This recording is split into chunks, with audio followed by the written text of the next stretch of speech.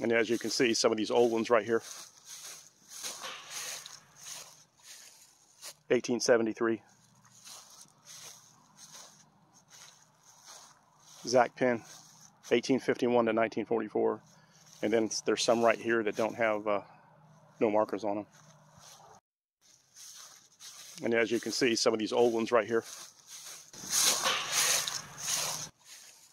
1873. Zach Penn, 1851 to 1944. And then there's some right here that don't have uh, no markers on them.